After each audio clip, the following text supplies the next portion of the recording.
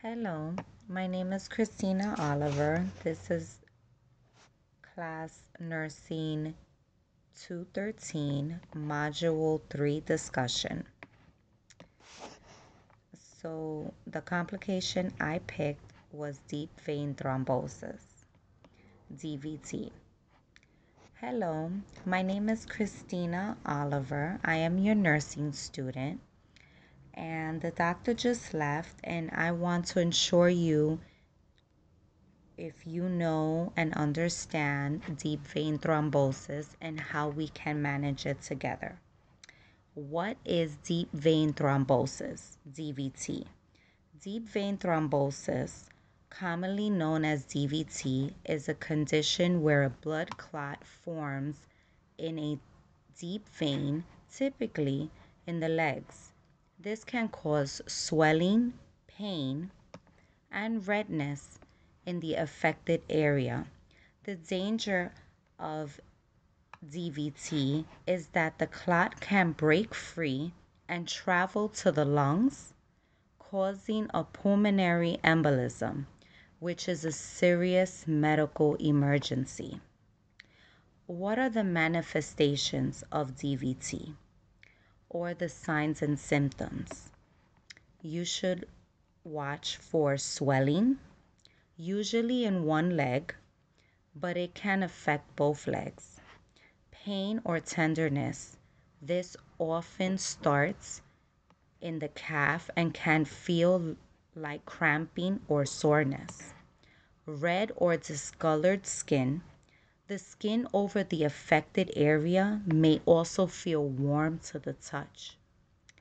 Vein that feels hard or bulging, you might notice that the vein looks larger or feels firmer than usual.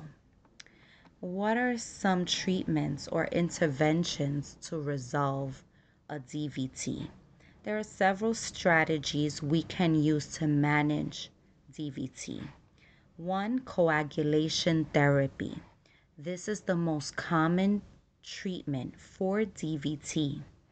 Coagulants, also known as blood thinners, work to prevent the clot from getting bigger and reduce the risk of a new clot forming. Common medications include heparin, often used initially because it works quickly warfarin or coumadin, typically used for long-term treatment and requires regular blood tests to ensure the correct dose. Other new treatments are what is called direct oral anticoagulants or DOACs. These include medications such as Eliquis and Xarelto. They do not require blood tests. Another intervention is compression therapy. Wearing compression stockings can help reduce swelling and prevent further clot formation. They work by applying pressure to your legs, which improves blood flow and reduces the risk of clotting.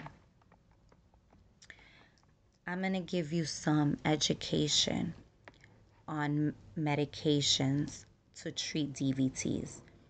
And we already went over it. The anticoagulants. It is important to understand medications you'll be taking for your condition. Heparin this medication is usually given through an intravenous or IV or as an injection under your skin.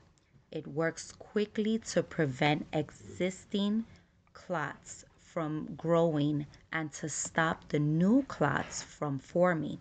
You'll need regular blood tests to monitor your blood level, your clotting levels. Your other medication Coumadin. This is an oral medication taken in pill form. It takes a few days to start working, so it's often used after initial treatment with heparin. You'll need regular blood tests to monitor your INR, and that stands for International Normalized Ratio, to ensure the dose is correct. And the last medications are your direct oral anticoagulants. These newer medications are taken by mouth and include Eliquis and Xarelto. They have fewer dietary restrictions and don't require regular m- blood monitoring. And if you could think of any other questions, please reach out to me and I'll be happy to answer them. Thank you.